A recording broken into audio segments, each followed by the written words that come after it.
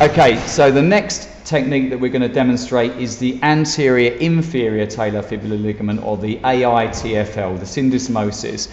And for this, we're going to show again a technique to locate this structure.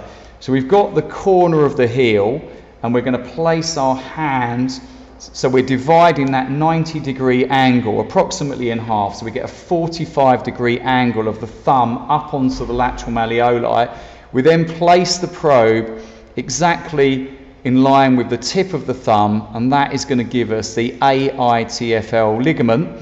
We can just adjust the probe slightly here just to get really nice visualization and optimize the image. Again, we can test now the integrity by dorsiflexing and externally rotating the ankle so we can check the stability and the integrity of this ligament. So I'm just going to go through those steps again. So we're looking at the back of the ankle, the 90 degree angle at the back of the ankle.